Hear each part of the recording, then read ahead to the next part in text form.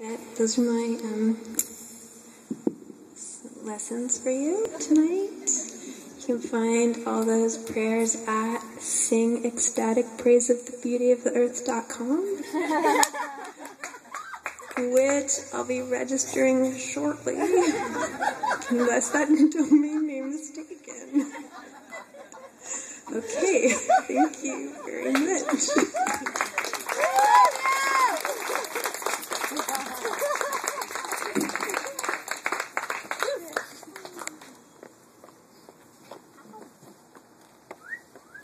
I know, sorry.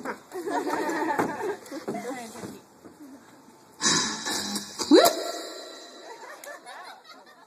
That, I just crackled a little bit through there. I think. That was like dragon breath. Hi. Thank you guys. Oh, and the other one? Is that one funky? Okay, so I can just talk. I'm really good at talking really loud. Thank you so much, you guys, for singing. That was beautiful.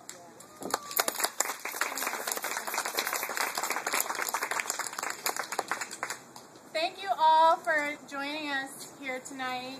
It's a very special night. The equinox is kind of a bit of a changing of the guard.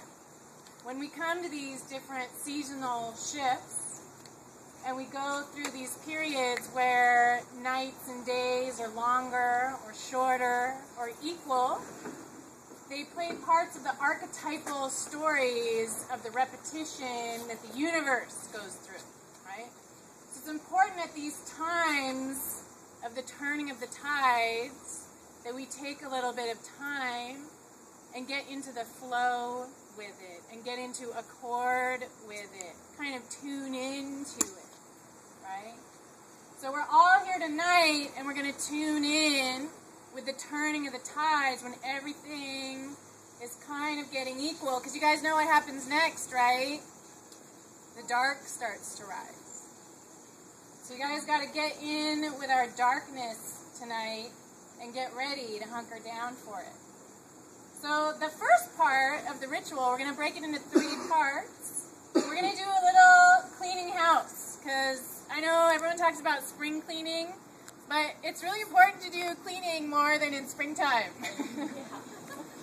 because there's a lot of garbaggio that builds up, right? You gotta scoot it out. And I know people always think that witches' brooms are just for flying, but they also work for sweeping. So witches are very savvy to the fact that you have to clean stuff up and get the old stuff out and make way for new things to grow. Right? So the first thing that we're going to do is we're going to do a clearing of the summer. Did you guys all have a good summer? Sort of. That was like that was such a bummer summer, guys. it was a pretty gnarly summer for a lot of people. All this Action is catching up with people. I think. Yes, yes. Burning Man, a lot of people had like a kind of went went. Did you guys have a good time? Good. I heard a couple of horror stories, but I guess those always happen. But so we're gonna take a little moment and we're gonna clear out the summer. So while I get ready, I'd like for you guys to think about this is what I want you guys to think about. I want you guys to think of the biggest disaster that happened to you all summer.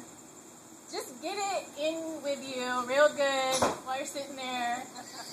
I know no one likes to think about their disasters, but that's how we learn by keeping them in mind, right?